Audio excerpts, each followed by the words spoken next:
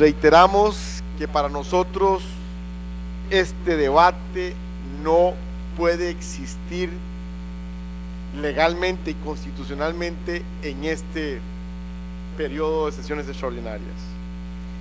No queremos, no queremos eh, participar en esta violación a la constitución política, en esta violación a la iniciativa que tiene que tener el Poder Ejecutivo y sobre todo porque deberíamos estar debatiendo el segundo debate de un proyecto tan importante para la seguridad ciudadana de este país como es el impuesto a las personas jurídicas. Liberación Nacional no participa de esta violación a la constitución política únicamente, únicamente si por alguna circunstancia vemos que requerimos de nuestra intervención, haremos uso de la palabra. Pueden continuar los diputados y diputadas con este desbordamiento del orden constitucional.